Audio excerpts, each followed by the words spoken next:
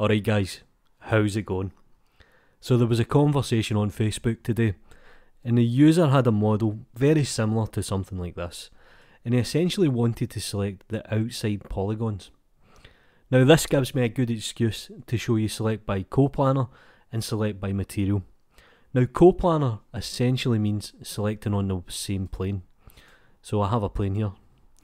Now, if I actually zoom in, there's a whole bunch of polygons on the one edge here. So selecting just one side can be a little bit difficult. So what I need to do here is I'm going to select a polygon. I'll come up to select, select similar, coplanar, and that'll essentially select all the polygons on the same plane. You can see here it's only selected the top.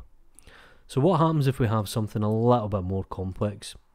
Well this is essentially where we can use the threshold for coplanar. Now there is other methods to do this but I've not made a tutorial about this so give me a break.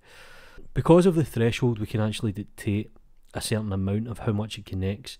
So let's say, for example, I select this bottom polygon, I select here, select here, and I'll just work my way around the mesh ever so slightly, because these are technically on different planes.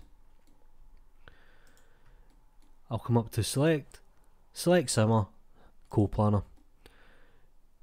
Now you can see here my threshold, if I set it down to zero, it won't select much, but I can actually put the threshold up now if I go too far on the threshold, you'll see that it's actually selecting the underside. So you need to find a good balance. So my threshold is probably 0.3. But it misses out some polygons. But don't worry about this. If you press shift, you can just select a few extra ones just to kind of tell the mesh, hey look, I'm here. Select, similar, coplanar again. There we go, nearly got it. Couple more. Now you can play around with the threshold and like I mentioned there is other ways to achieve this effect but select by similar, coplanar again and there's one last, always one. So what I'm going to do here is I'm actually going to assign a new material to these polygons selected.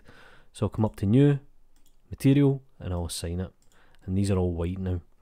So next time when I maybe want to make that selection again I can select a polygon, select, select similar by material. And that'll select all the polygons.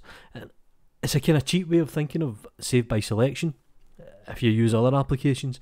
But it also means if I do something like if I go to mesh then go to separate separate by selection by material it gives me a little bit more options so I can select this by selection.